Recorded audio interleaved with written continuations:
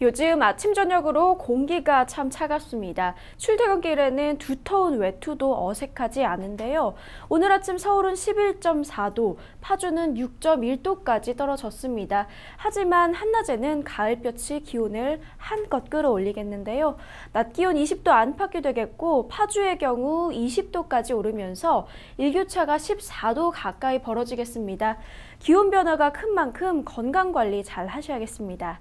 지금 하늘 모습 보시면 구름만 간간히 끼어 있는데요. 주로 남부를 중심으로 높은 구름이 지나고 있습니다.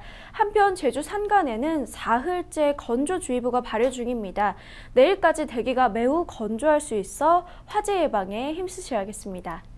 오늘 전국이 차츰 중국 북동지방에서 남동진하는 고기압의 가장자리에 들겠습니다. 종일 맑거나 구름만 끼겠는데요. 지형적인 영향으로 영동과 동해안 지역에 5mm 내외의 비 오는 곳이 있겠습니다. 낮 기온 서울 20도, 광주 23도, 대구 22도로 어제와 비슷하겠고 강릉 17도 등 영동 지역은 다소 낮겠습니다. 내일도 종일 평형 기온을 밑돌겠습니다. 아침에는 서울 10도 등 쌀쌀하겠고 한낮에는 서울 21도, 전주, 대구도 21도, 부산 22도가 예상됩니다.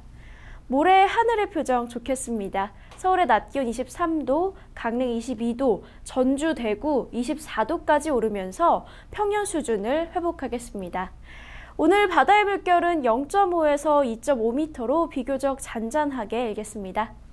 다가오는 일요일 남부지방에 비 예보가 있습니다. 그 밖의 날은 고기압의 영향으로 대체로 맑은 하늘이 펼쳐지겠습니다. 날씨였습니다.